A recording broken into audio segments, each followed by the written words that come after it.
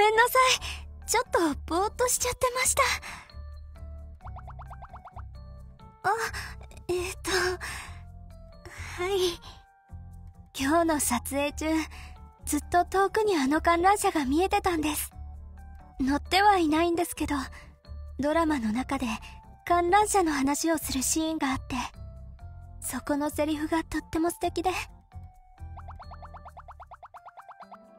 え、でも、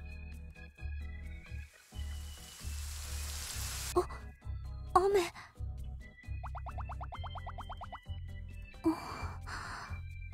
雨。では、観覧車、雨宿りに。はい、ありがとうございます、プロデューサーさん。あ、えっと、思ってたよりも狭いですね。